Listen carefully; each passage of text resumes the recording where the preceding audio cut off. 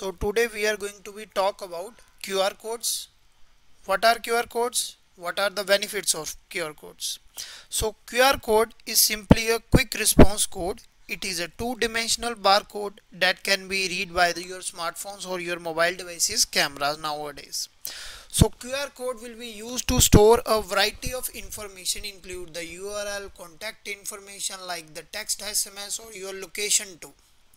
It was first developed in the 1994 by the Denso Wave which is a subsidiary of the Toyota.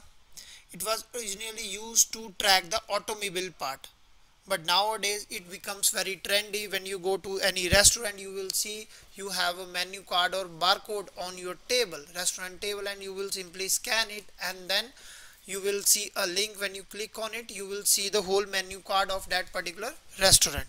So similar way it will be used in multi domains like marketing to advertisements educational purpose e-commerce social media platforms and for the travel blogs too so in this post we are going to be basically learn how we can create our own QR code in .NET Core using for multiple applications like for sending SMS, normal text SMS, WhatsApp SMS or how we can store our Wi-Fi password.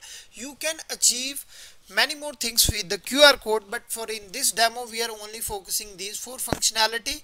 And to achieve this we are going to be use one of the NuGet open source library that is QR coder. So let's quickly go jump to our coding environment. So I'm using Visual Studio 2022 click on create project. And now here type MVC ASP.NET MVC MVC here you have a template ASP.NET Core web app that you need to be choose. Click next. Choose the directory and a suitable name for your application. I am choosing barcode generator. Choosing your suitable directory click next. Now choosing your suitable framework I am using .NET 7.0 configure HTTPS I don't need it for this demo. Click create. It will create a nice little MVC application for you. So the very first thing that you need to be before starting is go to your NuGet packages. Click on solution. Now go to the manage NuGet packages. Here we don't have any library installed so far. So in the browse section search for QR coder now this is the very first library that you will see on the top of the list written by the Raffael Herrmann. This QR code will be used for multiple purpose. It will provide many more functionality but in this demo we are only focus on send SMS, normal text SMS, WhatsApp SMS, how we can compose email using our own QR code or simply store our own Wi-Fi QR code. So click on install, click OK, this will install the QR code library into our project simply. Over there we can verify that. And then the next step is click on the model create model for our application so that we can pass data from controller to view. Okay? So name the model as QR model. So here we are going to be name a model QR code model. Code model to save our time I have my model ready over here. So simply paste that and let's look over the properties. So in this model I have firstly two properties QR code type. What type of QR code it is whether it is a SMS WhatsApp SMS email or your Wi-Fi. And then your base64 image or image URL for your QR code and then based upon the different QR codes that we are going to be using in this demo based upon that we have our own properties. Like for sending an email we need a receiver email address subject and SMS same for the SMS I need a phone number and the body. Same for the WhatsApp SMS I need a WhatsApp app number and message. And lastly your Wi-Fi name and the password. Now click on save don't worry about the source code. You will get it on the github in your video description. Now go to the controller click add and new controller. Here we are going to be choose MVC empty controller. Name a suitable controller. Name I am giving a barcode generator. And removing one from the end. Here you go. So here we have our code ready we will discuss that in a bit. Okay so let me unpin this so that we have a clear view. So firstly in my index view what I am doing going to be do is I am going to be pass a QR model to my view so that I have all the properties so that I can bind my view to my model. And then after that after I post that particular form here you can see I have my payload that this code we will discuss once we have the our view ready.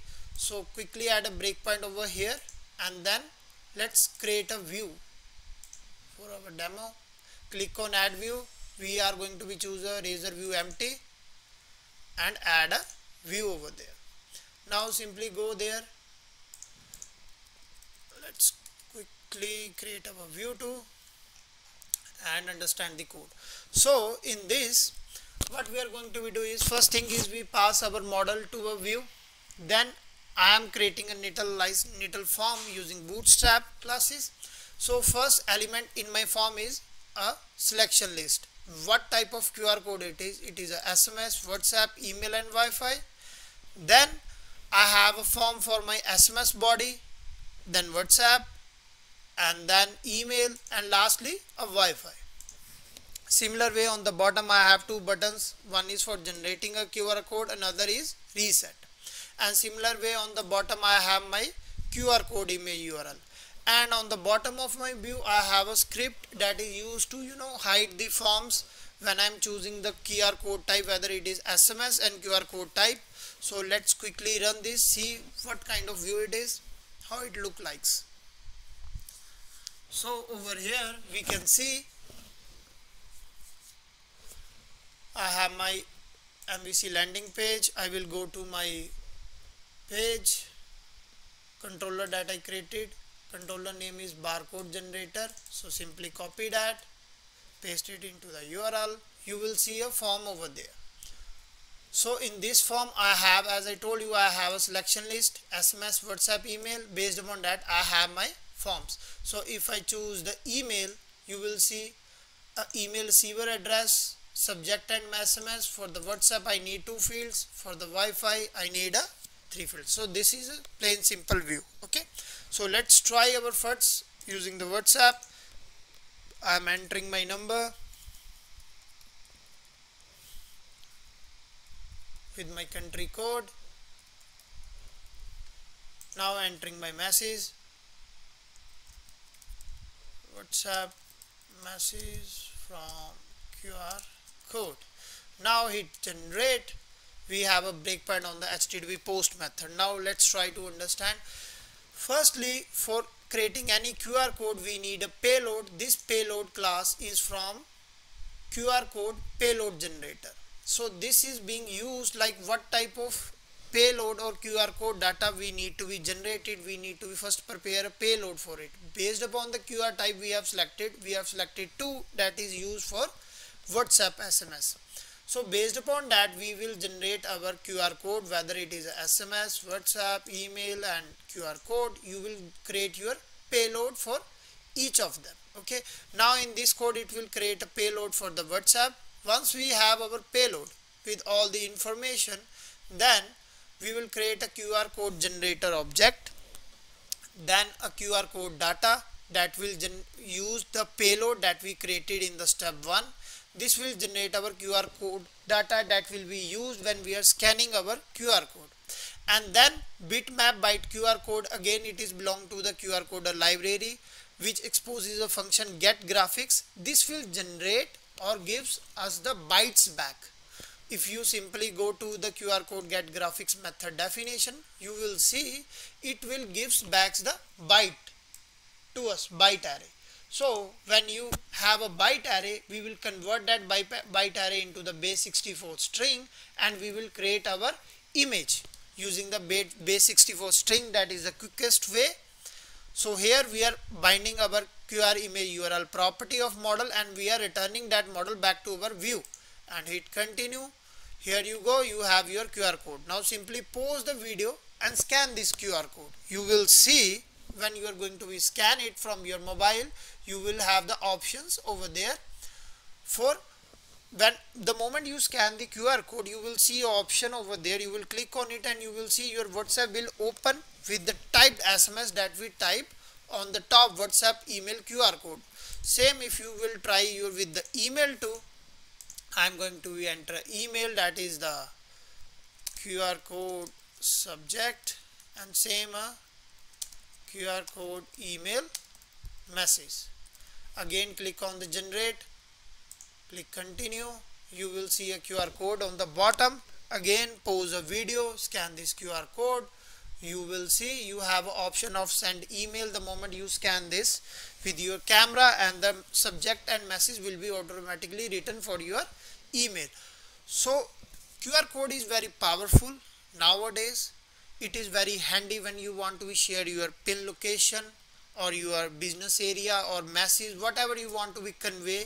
Simply create this QR code paste it in your any of the vehicle or outside your building or to whom you want to be share this simply. So this is a very quickest way how we can generate our QR code using the .NET Core application. Thanks for watching. If you have any doubts or any query you can post it into the comment section thanks. See you later